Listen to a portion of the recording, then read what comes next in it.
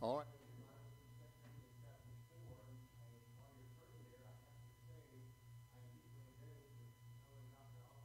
Kindness and friendship, but many in this room have been very instrumental. God has used you to be a huge help in our lives in recent months. And I, want, I would not want to start naming, but I certainly am not unmindful of your part in my life and ministry and the fact that God has allowed us to continue. Some years ago, it, was probably 20 years ago or so, that uh, we were going through some challenges in our church, and uh, Dr. Robertson was in the area uh, at another church, and I asked the pastor if I could maybe meet with Dr. Robertson and just ask him some questions. I was concerned about how to go about this problem, and, and uh, we met over breakfast, and Dr. Robertson was very patient and kind as he always was. And he'd already retired from that point, at that point, was traveling the country. So his ministry was pretty well winding down. And uh, after I got done, I was waiting to hear his response. And he said to me, Brother Royalty, he said, I want you to know that the most difficult problems I've ever faced came near the end of my ministry. He says, I, uh, I don't want you to be discouraged, but you just need to keep on keeping on, you know. and I thought, well, that wasn't much help at all. I, I, I was ready to quit right then, not to face worse problems. But God is faithful, and I appreciate the testimony. My, what tremendous preaching. I'm a little bit uh, in, uh, intimidated to stand up after that preaching uh, today. Brother Hawkins, all that was going on, God bless him. And, and uh, Brother Hawkins said we really don't, we can't depend upon men, and I certainly agree with that. But I want to tell you, Brother Hawkins, I'm thank God for friends in the ministry, and uh, I didn't realize how much I needed friends until recently. But I'm telling you, I need friends, and I thank God for them. I've always thought friends were important. I just never thought they were necessary, and uh, I found out they're necessary, and I'm I'm grateful for them. Certainly thankful for the Lord. Second Corinthians chapter four, verse one says, "Therefore." seeing we have this ministry. It's interesting how much have been, have been said about the ministry, and I guess that's not unusual since we're a lot of preachers here, people in the ministry. As we have received mercy, we faint not. It's interesting, Paul had a lot to say about the ministry in 2 Corinthians because in 1 Corinthians, he had had to, to rather um, uh, rebuke the church for some very difficult problems, as you know. And there were some in the church that weren't very appreciative of his rebuke and began to say, What right does this fellow have to talk to us this way? And so Paul wrote back in 2 Corinthians and explained not only uh, the, uh, I think he not only defended his ministry, but he defined his ministry. He said, Here's what the ministry is all about. And we, so we have the, the germ of that down here in chapter 4, but he says in chapter 3, he describes it a little bit. In verse 6, he says in chapter 3, he says, we, we are made able ministers of the New Testament, not of the letter, but of the Spirit. For the letter killeth, but the Spirit giveth life. So the ministry he was talking about in chapter 4, verse 1 was a life giving ministry. And down in verse 8, he says, How shall not the ministration of the Spirit be rather glorious? So it's a spiritual ministry he's talking about, and a glorious ministry. And then toward the end of chapter 3, he says in verse 18, We all with open face, beholding as in a glass the glory of the Lord, are changed into the same image from glory to glory, even as by the Spirit of the Lord. So, this ministry that God had called Paul to, and God had called, frankly, many of us too, in this room this afternoon, is a transforming ministry. It works in changing lives. And I've always enjoyed hearing testimonies of how lives have been changed through the gospel of the Lord Jesus Christ. And whenever we handle that kind of a, a treasure, Paul says that we have it in earthen vessels, it is a very important treasure for us. And we have this ministry, and because we have received mercy, we faint not. Mercy was on your thought tonight, today, Hawkins. I think you mentioned mercy quite a bit. And it's been on my mind recently and I don't think I fully appreciated the mercy that I needed for ministry until maybe recently. What am I talking about? Well, mercy, we always like to define that as something God withholds from us that we deserve. Whereas grace maybe is something God gives to us we don't deserve, and that's been helpful for me to keep that straight. The best illustration I've ever read about mercy was the mother who had gone to Napoleon to plead for a pardon for her son. And Napoleon, when he heard the mother's plea, he said, You don't understand. Your son has committed two offenses, both of which should be punishable by death, and justice must be done. And the mother said, I'm not pleading for justice, sir, I'm pleading for mercy. Napoleon responded to the mother and says, But he does not deserve mercy. And she says, That's exactly the point, sir. He does not deserve it, and that's why it's mercy. And Napoleon says, For that matter, I will show mercy to your son. The fact is, is I don't deserve to be in the ministry today. I don't deserve to be saved. I certainly don't deserve to be preaching from this pulpit. I don't deserve a wonderful wife. I don't deserve a wonderful family. I'm thankful for all that, but that's all because of God's mercy in my life. And because God has been merciful to me, and Paul said the same thing, he says, I cannot faint. I faint not. May God help us just understand this thought mercy for the ministry. Father, thank you for all that our hearts have enjoyed today. It would be hard to put a, a, spotlight on any part of it as being any better than the other. It's all been wonderful. Thank you for Brother Alquist and the church and their generosity to preachers. And Lord, I pray that as we close the afternoon, that you'll remind us again of why you've called us and the fact that we don't deserve it, Lord, but you've given us mercy, and we praise you for that. Help us not to faint, having uh, done all, may we not faint. In Jesus' name, amen. amen. Now, it's helpful to know the word mercy is to not just to fall over because you lost your consciousness. The word mercy really, I'm, I'm sorry, the word mercy, the word faint, means this to behave badly, to give in to evil, or to lose courage. When I was just a young preacher, I remember someone suggested I buy the book, uh, Spurgeon's Lectures to His Students. And I read through that kind of slowly through, but I came to this chapter on the minister's fainting fits. And that caught my attention. What is it that causes a minister to faint? And he mentioned four basic things, if I can remember them. First of all, he said, because preachers are men, and the best of men are men at best. And so sometimes we just get weary in our well doing because we're human. And we ought not, uh, we ought not be aware, be, be unmindful of that.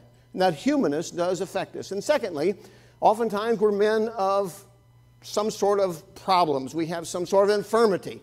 It may be physical, it may be emotional, it could be mental, but God has called us to work and we, we do what we do, but we sometimes have limitations in what we do. And so that causes sometimes to say, What good is it? How can I go forward? Then he says, Because of your position. Sometimes a person will faint because they're kind of all by themselves. A pastor is a pastor, but usually you're not two pastors or three, you're, you're there. And so you, because of your position, often draw flack and and you have no one really to talk to, and certainly you can share things with your wife, but you don't like to discourage her either. And so sometimes you're all alone in the work, and that can cause difficulty, fainting fits. The fainting of the minister. And Paul says, I have a reason why I don't faint, and I have a reason why I can keep going, and that is because of God's mercy, I faint not. And I think that I've gained a new appreciation for the fact that I don't deserve to be in the work of the Lord. I don't deserve to be saved, and I don't deserve to be preaching, I don't deserve to be pastoring. God has been merciful to me to allow me to do that.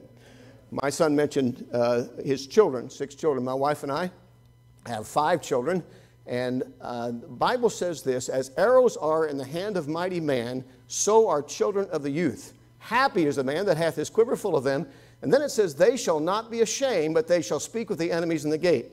And the one thing that has brought stability and help in my life, even as the Lord Jesus Christ, of course, is primary, but the fact that the kids are going on for the Lord gives every confidence to me to just keep on keeping on. And, uh, and, and it reminds me that I've got some little eyes watching me, and because of the mercy of God, I must not faint. Now, let me give you several thoughts from chapter 4, and then I'm going to be done.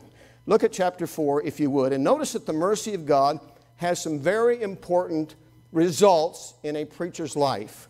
He says in verse 2 But have renounced the hidden things of dishonesty, not walking in craftiness, nor handling the word of God deceitfully, but by manifestation of the truth, commending ourselves to every man's conscience in the sight of God.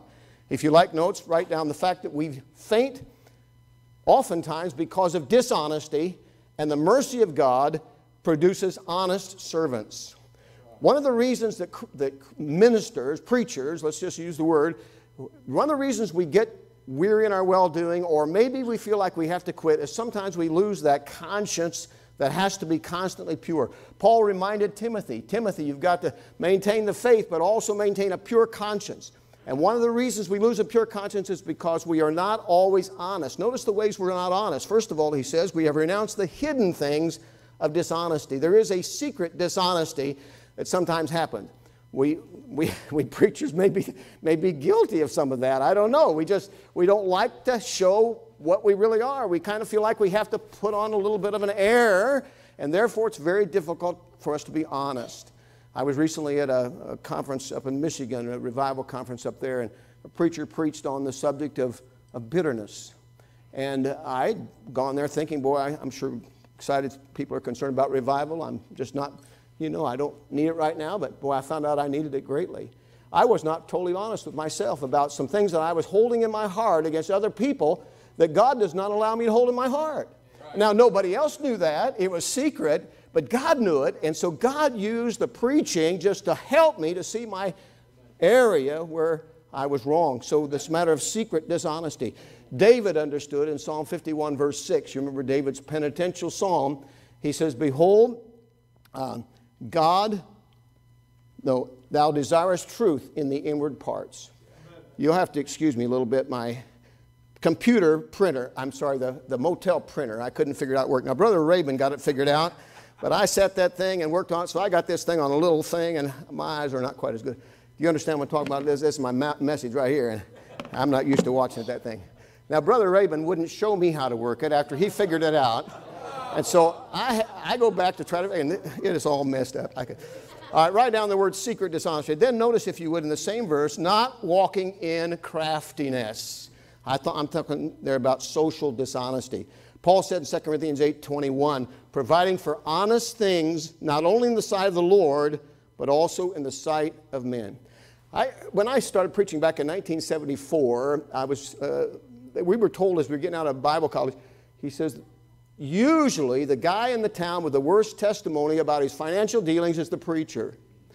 And I purposed by the grace of God that when I went to, a, and I did a little village in Minnesota, I mean, you knew everybody, and they knew you, and they knew how much you owed on your store bill, and you, they knew whether you paid your bill. I decided by the grace of God, this preacher was not going to be a bad testimony publicly for the cause of Christ.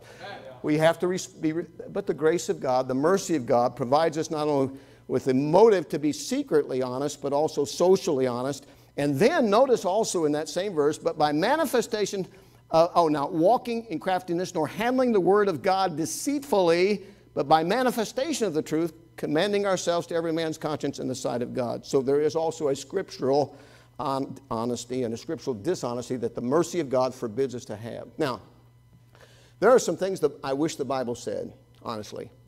I wish the Bible said, if you don't come to church and are faithful, you're going to lose your salvation. I wish it'd say that. It would be so much easier to pastor a church like that. I you know, but the Bible doesn't say that. And I have to be careful to be honest with the Word of God when I'm preaching and not tell the Bible what I want to say, but rather listen to what the Bible says and tell others. So there is a, first of all, the mercy of God produces honest servants. And one of the reasons we get out of the ministry is because we can't we can't live with ourselves. We lose that clean conscience. We've got to keep a pure conscience, a right conscience. I think there's a second reason why people faint, and it's also found in this passage. Notice in verse 5, the Bible says, We preach not ourselves, but Christ Jesus the Lord, and ourselves your servants for Jesus' sake. For God, who commanded the light to shine out of darkness, has shined in our hearts to give the light of the knowledge of the glory of God in the face of Jesus Christ. Notice we have this in earthen vessels that the excellency of the, pow- excellency of the power may be of God and not of us. The second thing the mercy of God produces is humble, I'm sorry, yes, humble servants. We faint because of dishonesty, we faint because of pride. we are, I, I, I, have to laugh at myself sometimes because I sometimes think I'm just about got that thing, pride thing licked. And then I find out I'm terribly proud about having that pride thing licked. I mean, it's terrible. I'm, I'm, not, I'm not laughing. I, am telling you, that's what happens. And I start thinking, you know, boy, I really just about got this. And I find out God is more interested in humbling me than I am in being humbled. And God has wonderful ways to do that. Um, and by the way, I've learned that whatever humbles me helps me. And so the mercy of God, look, I don't deserve, it's good to be reminded when I stand in the pulpit, I don't deserve to be a preacher. I don't deserve to handle the Word of God. I don't deserve to be a pastor for these dear people. I don't deserve to have a wife that loves me and cares for me and been faithful to me for all these years. I don't deserve any of that. You understand? I deserve hell. And may I say you do too. So it does remind us to be humble, doesn't it? Humility exalts Christ, not self. Look at verse 5. We preach not ourselves, but Christ Jesus the Lord. The Bible says the greatest man that was born of woman was John the Baptist. Jesus gave that testimony, and John's testimony was, He must increase, I must decrease. That's pretty powerful, isn't it? In other words, it, John the Baptist teaches us humble. Sometimes we're more concerned with making ourselves known than we are making Christ known. More impressed with our talents and our titles than the treasure he talks about in verse 7 that we have in earthen vessels. Yeah. Sometimes we look to man for what we should be looking to God for praise and promotion and profit. So, first of all, humility exalts Christ and not self. Secondly, humility serves others for Jesus' sake. Once in a while, uh, over the years, I've had the privilege of pastoring a lot of different kind of people, just like you have. I remember back in Minnesota, I had a, a deacon who just, just a, a, just a lovely guy, just loved the Lord. And he was a hardworking farmer, and he just couldn't do enough for the Lord. And he was working uh, on the farm very, very diligently. And we decided we'd have a, uh, a senior citizen Sunday where we'd honor all the senior citizens. Well, we were, didn't have many senior citizens in our church, so he went to a rest home in town and he lined up senior citizens. He had a big old station wagon, one of those big Chevy station wagons, you know, and he brought a carload of senior citizens out. Then he went back and got another carload of senior citizens out. And uh, after that time, we had a wonderful ministry where these dear folks would come every Sunday and they would fill a pew or a parcel pew and so forth. One of the fellows that came was uh, in his later, very later years, and uh, he was kind of a thin man. He's losing weight. I mean, just like oftentimes we do as we get old and we lose weight. I'm looking forward to that day when that. I still feel I have a lot of life left here. Uh, but he was he losing weight, and but he loved to come in church. Loved to come in church.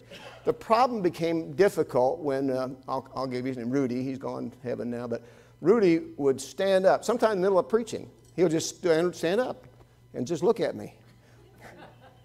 Hi, Rudy. And uh, people would kind of get used to it. So, unfortunately, because he was losing weight so bad, one time he stood up and his pants didn't and it just about broke up the service. I, I, I had to, a couple of the fellows came from the back and they kind of helped him, you know, and then they got him sat down again. But Rudy, Rudy loved to come to church, and one day when the, the nurses told us he just can't come anymore, he's just so weak, he can't come.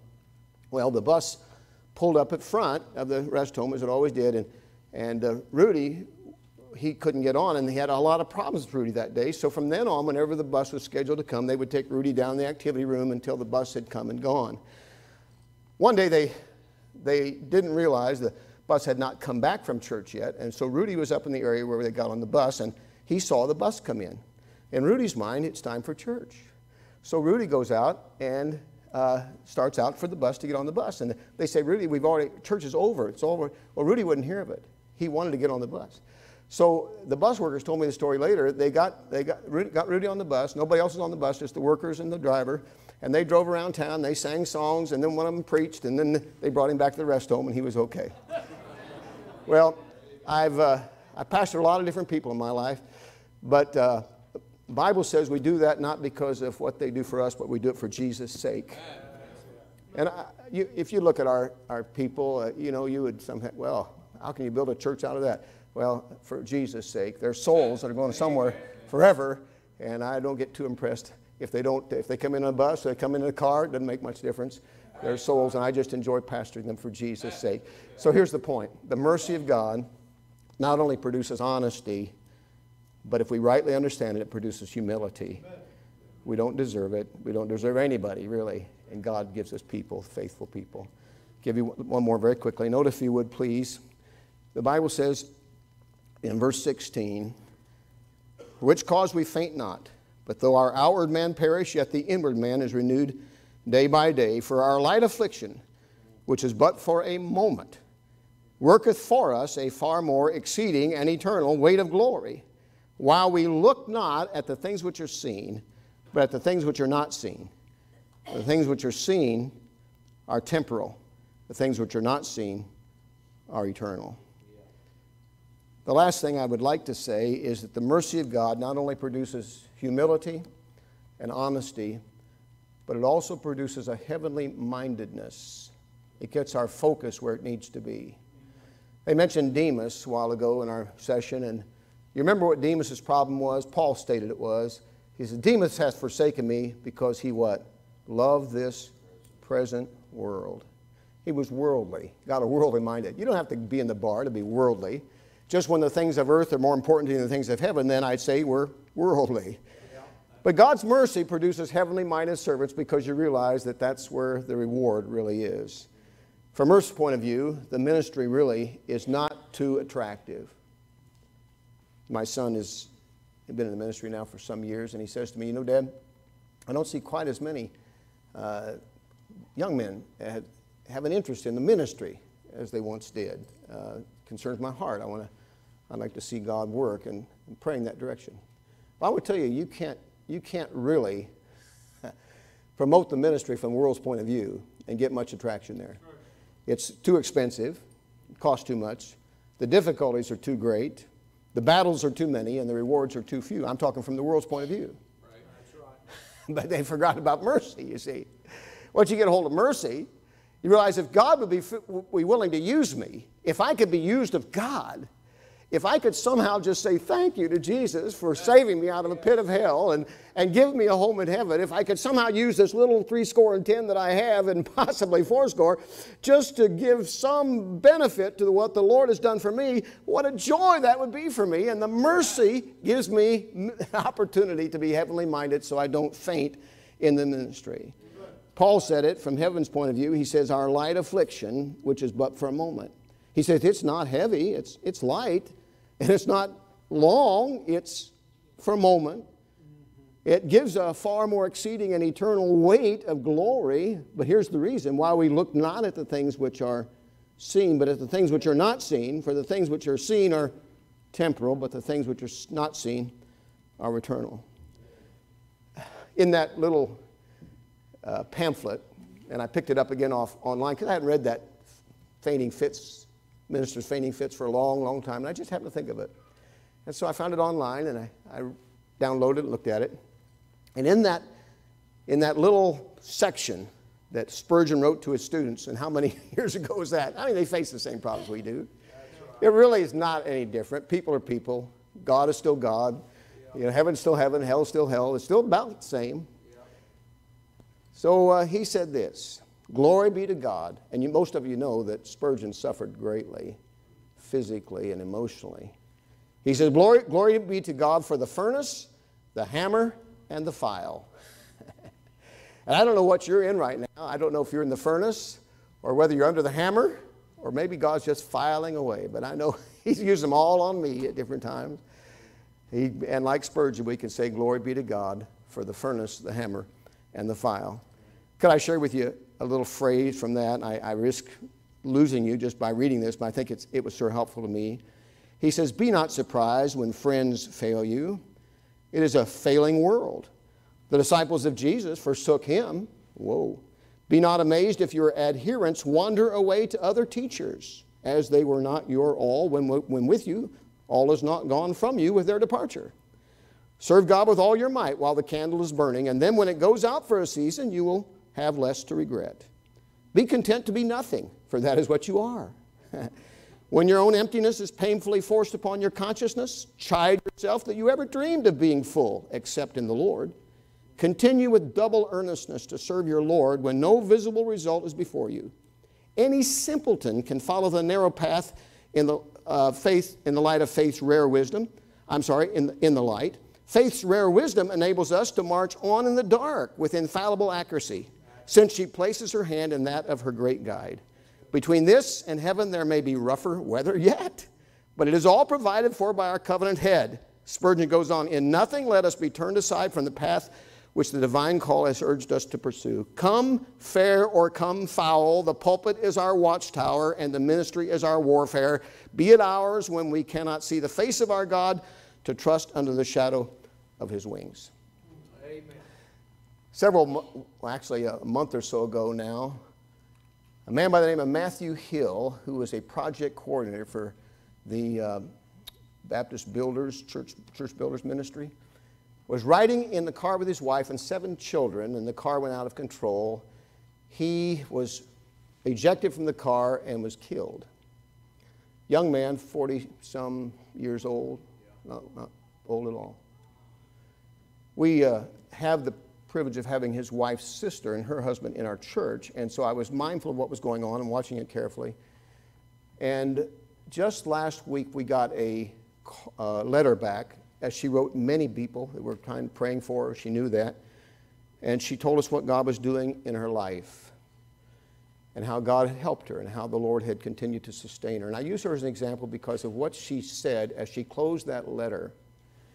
She said, The giant in front of me is never bigger than the God inside me. And here's a grieving widow with seven, eight kids at home yet to take care of and she's looking to the Lord for strength. And I thought, may God forgive us who stand in pulpits and lead churches not to faint. May God give us mercy. Father, we're grateful that you've given us this wonderful day, and it's been a wonderful day in the house of the Lord. Every message has been just on target. Lord, what I needed today, and I thank you for that. But Lord, as we stand before you today, we're mindful of the weakness of the flesh, the tendency for us to faint so, Lord, we pray you'll help us to focus on the mercy that you've shown to us. You've been such a merciful God. We, with David, say, How great is thy mercy! Thy mercies endure forever. We rejoice in thy mercy today. May we stand fast, and having done all, to stand. We pray for Jesus' sake. Amen.